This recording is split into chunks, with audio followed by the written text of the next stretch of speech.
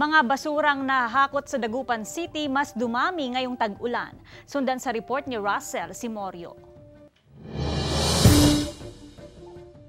Dumami ang nahakot na basura ng Waste Management Division sa Dagupan City ngayong tag-ulan. Bumigat din ang mga dinadalang basura sa Material Recovery Facility ng lungsod. Mula sa 45 hanggang 50 toneladang basura na nahahakot sa lungsod noong tag-init, umabot na ito ngayon sa 55 hanggang 60 toneladang basura. Pag tag-ulan, iba na ang pan natin kasi unang-una, bibigat yung basura natin.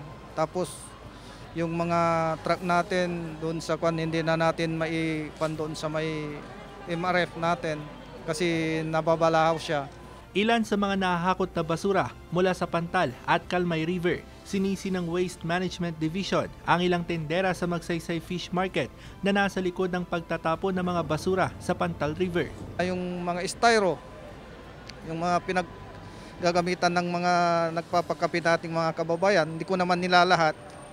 May mga kwan po na talagang walang pakundangan kung saan na lang itapon yung pinaggamitang styro. Baka yung panggabi, baka sila ang nagiwan ng basura dyan. Hindi madilim siguro, hindi makikita dyan sa itaas. Pero ayon sa ilang tendera, mayroon silang sariling basurahan sa kanilang pwesto na siyang hinahakot ng WMD tuwing hapon. po para ano po, para may para di nakakalat din sa ano daan kalsada. May kakaharaping multa ang sinumang maaktuhang nagtatapon ng basura sa mga kailugan. Kasama si Daryl Peralta, Russell Simorio. Balitang Amyanan.